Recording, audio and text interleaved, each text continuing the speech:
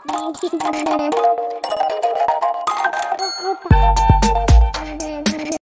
Everyone इस video में बात कर लेते हैं मैक्स हेल्थ केयर लिमिटेड की। तो आप नोटिस कर रहे होगे कि आज बहुत हैवी सेलिंग प्रेशर देखने को मिला है स्टॉक में। क्विकली एनालिसिस देख लेते हैं चैनल को लाइक एंड सब्सक्राइब करना मत भूलिएगा। तो आप नोटिस करोगे कि मैक्स हेल्थ केयर ऑलमोस्ट तीन परसेंट का ड्रॉप था ये।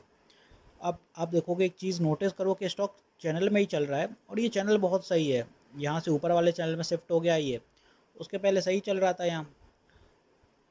और बुलिश मोमेंटम है। जब से स्टॉक लिस्टेड हुआ है, इसका आई आया था, उसके बाद अच्छी खासा चल ही रहा है। अभी तक कोई ऐसा ड्रॉप देखने को मिला नहीं है कि अच्छा खासा ड्रॉप है और लंबी अवधि से कहीं कंसोलिडेशन कर रहा है। यहाँ काफ़ी स्टॉक को समस्या हुई ऊपर जाने में। कहीं ना कहीं स्टॉक ने ब्रेकआउट देने की कोशिश करी बट ऊपर रेजिस्टेंस कंसिस्टेंटली फेस करते हुए फिर सडन फॉल आया स्टॉक में। यहाँ नतीजे आए थे, इस वजह से फॉल आया। अदरवाइज़ यहाँ से उठ जाता।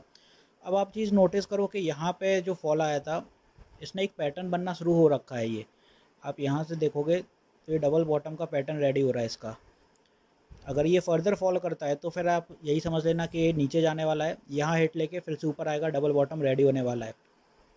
क्योंकि ये वाला जो एरिया हो गया है, ये सेलर्स का एरिया है, ये पूरा। तो यहाँ पे जो सेलर्स जितने भी एक्टिव हैं, इसको ऊपर निकलने नहीं दे रहे हैं फ़िलहाल के लिए। यहीं से रेजिस्टेंस आ चुकी है ऑलरेडी दो, तीन बार आ चुकी है। इसीलिए नीचे जा रहा है स्टॉक यहाँ से। और बायर्स का जोन आपको पता ही है ये बायर्स का जोन रहने वाला है फ़िलहाल के लिए। तो इस जोन में जैसे ही स्टॉक आएगा, यहाँ से रिवर्सल होने लगता है। तो कुछ ऐसा सा डबल बॉटम का पैटर्न बन के रेडी होएगा स्टॉक और फिर अच्छा खासा यहाँ जाके ब्रेकआउट देगा। तब उस हिसाब से उस तरह से निकलेगा स्टॉक तो अभी के लिए मैंने आपको बता ही दिया है, नीचे जा सकता है स्टॉक और नहीं जाता है, अगर कंसोलिडेट करता है तो फिर इसी को ऊपर रैली समझ लेना आप, क्योंकि फिर यहाँ से ऊपर जाएगा। डबल बॉटम इसलिए बन रहा है क्योंकि इस लेवल से भी रिजेक्शन है। यहाँ पे आप नोटिस करोगे तो यहाँ बिल्कुल पैरेलल हो रखा है ये। इसी के बराबर पे आ गया है। तो रिजेक्शन इसलिए ज़्यादा उसके अंदाजे बन रहे हैं कि नीचे यहाँ से जा सकता है। अदरवाइज़ यहाँ पे अगर ये लेवल ना होता कि यहाँ से रिजेक्शन वाला तो फिर ये उम्मीद थी कि यहाँ से बुलिश मोमेंटम पकड़ता कहीं ना कहीं। तो अगर यहाँ से कहीं ना कहीं ये डबल बॉटम नहीं बन रहेगा तो फिर इसके ऊपर स्टॉक को सस्टेन करना ज़रूरी है। ये लेवल के ऊपर सस्टेन करने के बाद यहाँ की रैली मिलेगी 644 के टारगेट्स मिलेंगे। तो अभी जो स्टॉक का लेवल है 563 तो उसमें और 644 में ऑलमोस्ट 100 पॉइंट्स के 99 पॉइंट्स का अराउंड एक डिफरेंस पड़ेगा।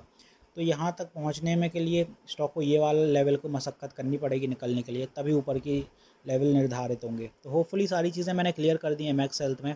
बाकी स्टॉक अच्छा है लॉन्ग टर्म के हिसाब से तो सही है। और जिस हिसाब से स्टॉक चल रहा है तो काफ़ी लंबे समय से आप देखोगे स्टॉक ने कोई नीचे की तरह कोई रैली नहीं दिखाई है। जब लिस्टेड हुआ था ट्वेंटी ट्वेंटी में, उसके अराउंड स्टॉक एक बुलिश मोमेंटम में ही है। आज भी स्टॉक आगे ही बढ़ रहा है। थोड़ा सा नीचे अभी ड्रॉप देखने को मिला है और ये ड्रॉप ख़त्म होते ही कंसोलिडेशन के बाद फिर अच्छा निकल जाएगा। ये ड्रॉप थोड़ा इसलिए क्योंकि नतीजे आए थे, इसी वजह से थोड़ा स्टॉक ड्रॉप दिखा रहा है। वो उनके उस उस फ़ेज़ में तो सारे ही स्टॉक ऐसे ही चलते हैं, थोड़ा कंसोलिडेट करके फिर ही निकलते हैं। तो अभी ये निकलेगा अच्छा करिए रिजेक्शन जैसी ख़त्म हो जाती है। तो वीडियो यहीं तक रखते हैं, मिलते हैं नेक्स्ट वीडियो में। This is me Shubham Yadav signing off